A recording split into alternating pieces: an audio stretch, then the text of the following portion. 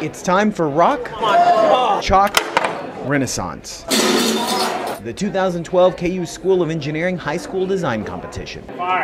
Each team designed a trebuchet designed to launch hacky sacks in three separate challenges accuracy, speed, 18, 19, and defend your castle.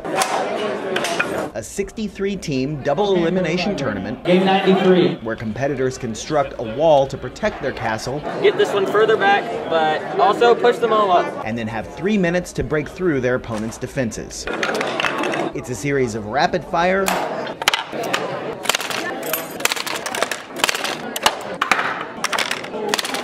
close calls,